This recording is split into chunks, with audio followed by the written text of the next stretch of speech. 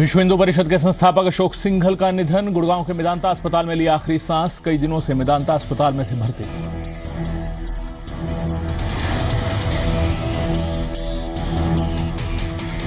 Gene के अलेवा में मुख्यमंत्री मनोहर लाल ने रखी राजकीय महाविद्यालय की आधारशिला। वीरेंद्र सिंह के बयान पर सीएम ने वीरेंद्र सिंह से पूछा 40 साल आपने जींद ज़िले में राज किया, विकास में क्यों पिछड़ा जींद?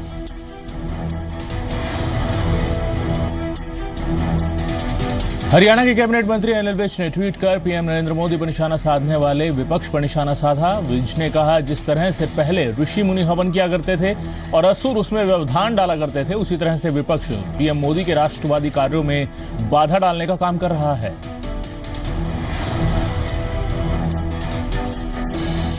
हरियाणा के तीन हज़ार पाँच सौ इक्यासी गेस्ट टीचर्स के लिए राहत की खबर। पंजाब हरियाणा हाईकोर्ट ने नियमित भर्ती तक गेस्ट टीचर्स को बहाल किए जाने के आदेश दिए।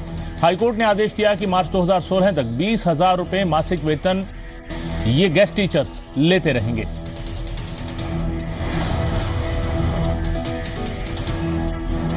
सोनीपत के कामी रोड स्थित पेट्रोल पंप संचालक और कर्मचारियों से एक लाख पैंतालीस हज़ार रुपए लूटने का मामला, पेट्रोल पंप संचालक के बयान पर पुलिस ने लूट का मामला किया दर्ज। लूट की वारदात सीसीटीवी में कैद।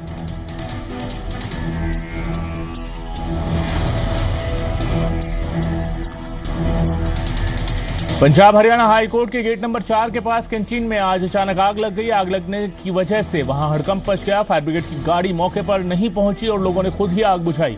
अभी तक आग लगने की वजह का नहीं पता चला।